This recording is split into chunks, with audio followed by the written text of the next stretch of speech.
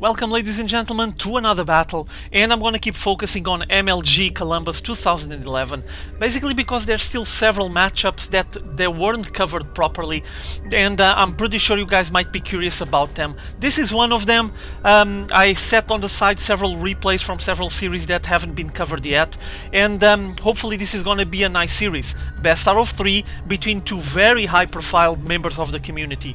Let me just present them spawning here on this south position of of the Xel'Naga Caverns, we're gonna have Liquid Ret. The Dutch Zerg player loves his macro gaming, as you guys know he's a beast playing Zerg. And um, Keep in mind that this guy is very experienced, a veteran playing StarCraft 1 and StarCraft 2. He was one of the few that even tried his luck and went to Korea back in the days of Brood War to attempt his luck there and see how well he would be able to handle the pressure. Uh, so a sign of uh, quality and much respect for Ret, here representing his team, Team Liquid, and trying to grab a nice result on the MLG Columbus and he's going to be facing against this tremendous Protoss that, boy, I'm starting to feel a bit like a stalker because I've been covering all of his matches on MLG Columbus. It's OGSMC once more, huge Protoss player, one of the main references in Korea and amongst the best in the whole world. And they're gonna be duking it out here for our delight on this game 1 in Xel'Naga Caverns. So um, taking a look at what's happening here, we do see Ret coming out with his drone, going for that fast hatch, and MC following him with his probe, spotted everything, so now he has some decisions to make. Keep in mind that Ret loves his macro gaming, obviously he might be taking some chances. I do see that here on the north position where MC spawned, we do have a Forge coming out after the gateway, and this might be spelling trouble for a, a Ret, because I think that MC is just making his decisions, taking the wiser one, and I think it might be related with some photon cannon harass on that natural expo. He's just taking advantage of the fact that Ret doesn't have much of a defense at the moment. He committed a lot of resources to get that hatchery up, and now he's gonna be in trouble. He's gonna have to deal with the pylon and be followed by photon cannons, I'm assuming spawning pool like 75% done.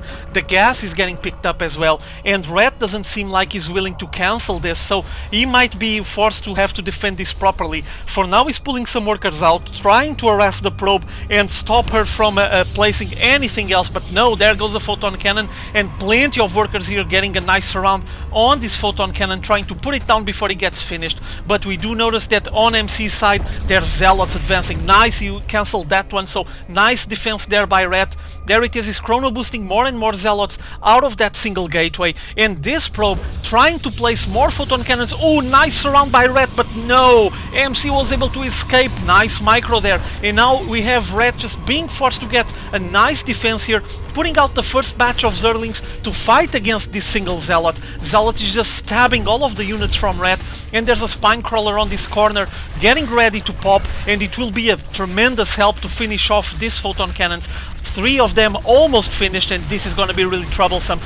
Ret focusing his fire on one of them, MC cancelling it, and the other one is really weak, but no, it's still going and blasting away at the forces that Ret was sending to his natural expo. Now, two photon cannons focusing fire on that spine crawler, Ret cancelling it, and a single queen with three zerglings. This is not enough to defend against this amount of aggression. Ret is trying to mass up more units, but those zealots just slice and chew through of that zergling and worker force so so easily. The queen trying to focus fire on this photon cannon that is really really weak, but now with three zealots, oh, we just got completely sliced and chopped to bits and forcing Ret to GG out of this match. Way too much pressure there. That uh, decision making by MC was eh, obviously efficient and brilliant. He just considered his options and when he saw Ret going for the fast hatch, he decided to lay down a a forge and go for some photon cannon harass and it paid off. Apparently he might even be planning something ahead, he does have a pylon down here, maybe he would be considering any kind of transition if this wouldn't work, but worked perfectly. He's taking game one out of Ret's hands, really quick game, but well, I guess the things are just like this. Let's go for game two, guys, and let's see if Ret can handle the pressure to tie up this series and take it to an ace match. See you all later, have fun.